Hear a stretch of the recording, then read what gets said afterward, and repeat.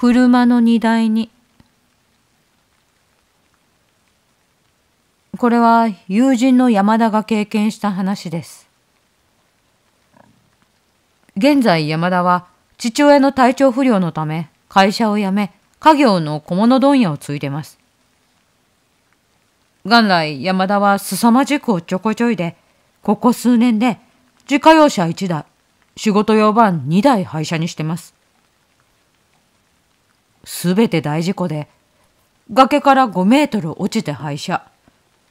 民家のブロック塀をなぎ倒しながら踏切に突っ込み廃車。工事用特殊車両に突っ込み廃車。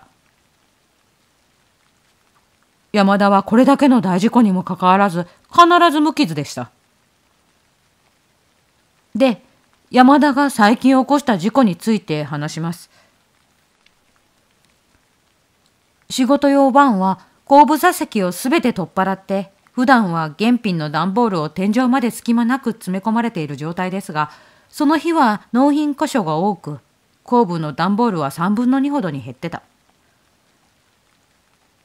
最後の納品を済ませ、両国にある事務所に戻ろうとした時でした。時間はまだ4時。この分なら、急げば5時前に事務所に着いて早上がりだな。と思い、車をかっ飛ばした。大きな交差点を左折した時、かなりのスピードで曲がったため、後部で段ボールが崩れる音がした。山田は大雑把なため、そんなことはお構いなし。さらにスピードを上げ、また一気にカーブを曲がった。後部で今度は段ボールに入ってた小物がばらまかれる音がした。山田は、ありゃ、やっちまったか、と思い、どの段ボールの中身がばらまかれたか確認しようと、後ろをちらりと振り向いた。その瞬間、固まった。誰かが後ろに乗ってる。段ボールと段ボールの隙間から後ろ向きで体育座りをする子供の肩と腕が見える。しかもその子は上半身裸だ。顔は見えない。髪型を見たところ、小学3、4年生の女の子か？山田は、小学生の帰宅時間かいじめられっ子がこの車に逃げ込んだのか？と思った。山田は即座に路肩に車を止め、ハッチバックを開けた。ところが誰もいない。声をかけたが返事もない。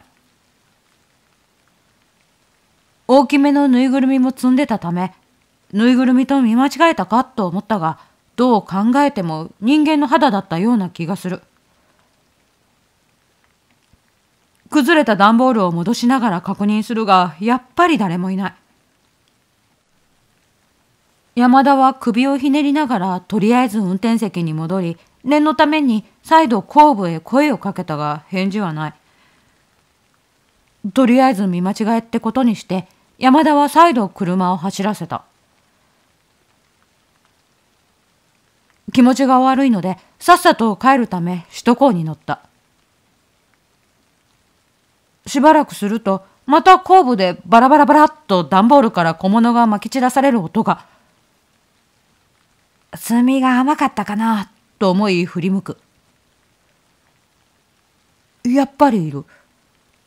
段ボールと段ボールの隙間から上半身裸の女の子の体が一部ちらりと見える。山田は運転しながら、ああ、こいつやばいかもって思ったが、とりあえず声をかけた。どうした？いじめられたか？家、どこだ？やっぱり返事はない。ルームミラーからだと段ボールが邪魔して女の子が見えない。まだ日が照ってたためか、やばいとは思ったが、恐怖心はなかった。もしいじめられっ子だったら辛くて返事もできないかもな、とも思えた。よし、もう一度振り向くか。と思った時、段ボールが崩れる音がした。山田は、おーいと声をかけながら振り向いた。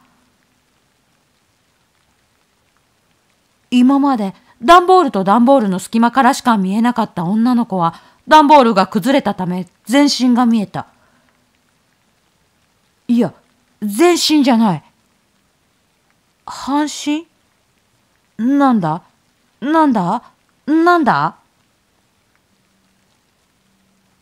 その子の半身は段ボールの側面から出ていた。体を右と左で真っ二つにし、半身を段ボールの側面に貼り付けたようにそこに座ってた。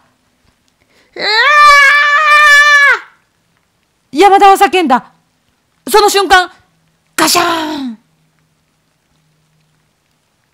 首都高の左車線に止まってた工事中の工事用特殊車両に釜を掘っていた。